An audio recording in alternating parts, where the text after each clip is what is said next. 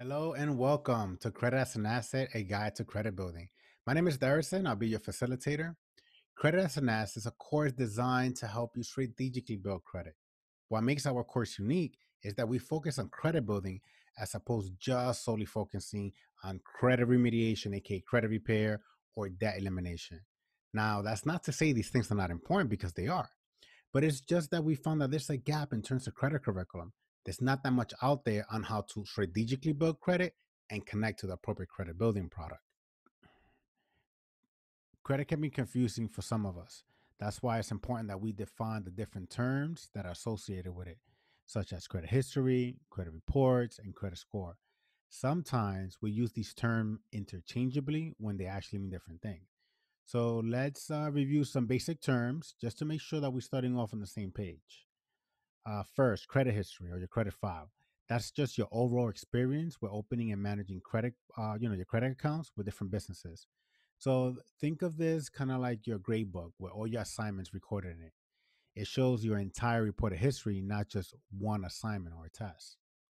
Your credit report, on the other hand, this is a snapshot of your credit history at a particular point in time and is pulled for a specific purpose. Uh, so meaning your next door neighbor cannot just pull your credit report. Next, credit scores.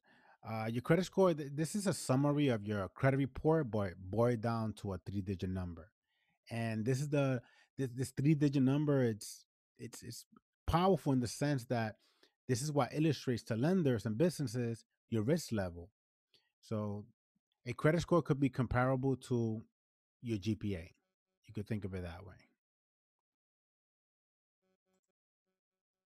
So what's a good credit score? It depends. It depends on the score model that we're looking at and the version of the credit score that we that we're um, looking at. The chart here in front of you it has three categories: poor credit, fair credit, and good or excellent credit. So now this is going to vary depending on the score model, but generally there's a consensus that often the ranges that we're seeing here from 300 to 550 is considered poor. Having good credit helps us find more affordable financial product. It increases our access, affordability, and options for things like rent, uh, you know, renting an apartment.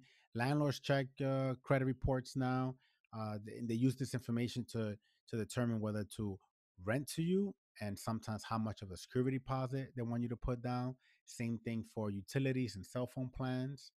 Um, if you walk into a T-Mobile or Verizon or Sprint, whatever carrier you got, and you want to finance a phone, they're gonna check your credit and your credit score, your credit report. That will determine how much of the security deposit you need to put down on a cell phone.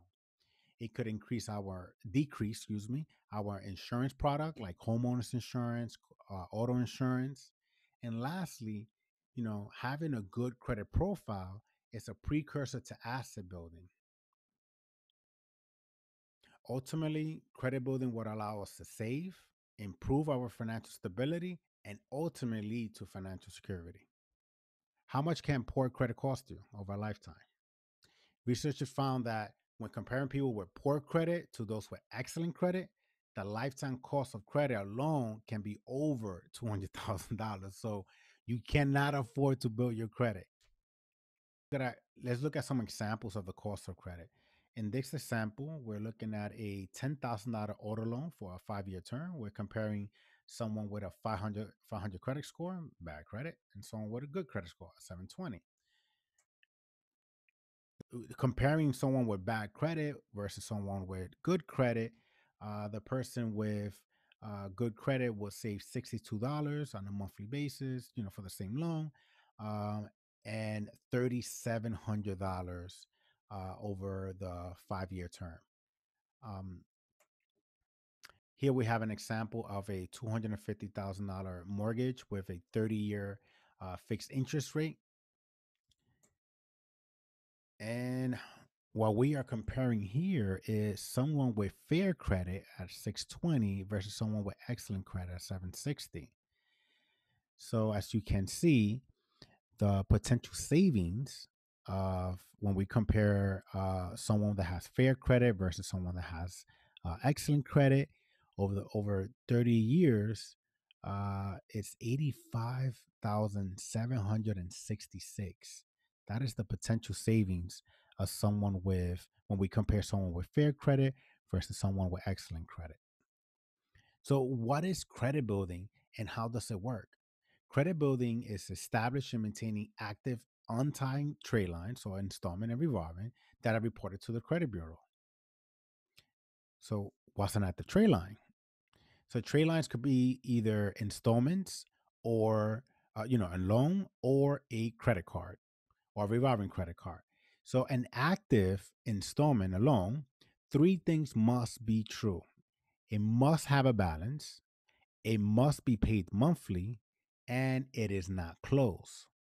That's what makes an installment loan an active trade line. And when I mean active, meaning that there's activity being reported to the credit bureaus and this this is the strategy that we're going to use to increase your score next an active revolving account so credit cards or charge accounts it does not need to carry a balance and there should be at least one payment made in the last six months so for a credit card, a revolving account, to be considered active for credit building, you need to just have at least one payment made on the credit card within the last six months.